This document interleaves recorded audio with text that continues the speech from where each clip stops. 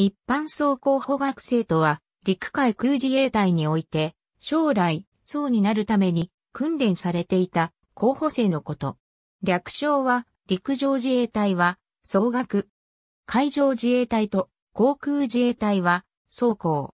それまで、幹部自衛官を除く、一般的な自衛官の募集は、任期制隊員たる2種の採用しかなく、一定の勤務期間を経て一市市長、三層へ承認していた。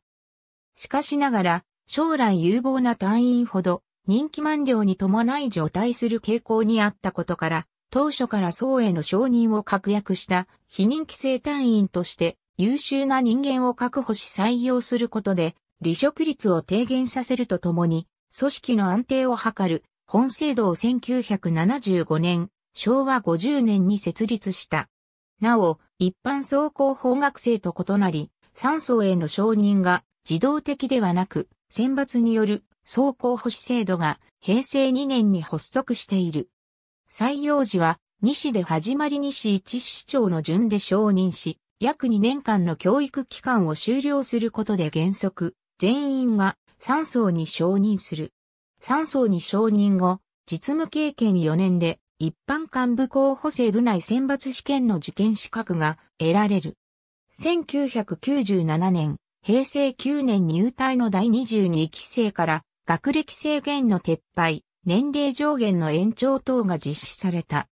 入隊する隊員の年齢構成も18歳以上24歳未満と広がったため、以降は入隊者の半数弱を大学卒業者が占めていた。なお、本制度は2006年募集の第32期生をもって募集業務を終了している。総候補者気象会総候補学生の制服一般総候補学生の陸、海、空士として任命され、前期、教育その後部隊に配属された。